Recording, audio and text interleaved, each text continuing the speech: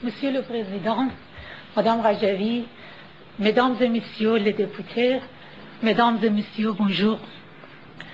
Je suis venu apporter mon témoignage comme victime du raid de la police le 17 juin 2003 à Auvers-sur-Oise contre les bourreaux de CNRI et le domicile de quelques réfugiés iraniens.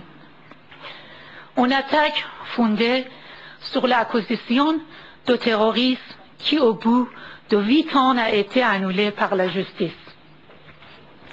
Ce jour-là, pour protester contre un marchandage en taux avec les mollahs, dans la confusion et le danger de l'expulsion vers l'Iran, plusieurs personnes se sont immolées par le feu.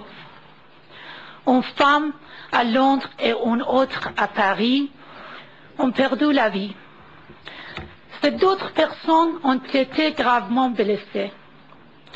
Je suis l'une de ces personnes. Je m'appelle Marzia Babakhani. Je suis née en 62 à Téhéran. Je suis brûlée à 47%, mais mon corps brûle aussi.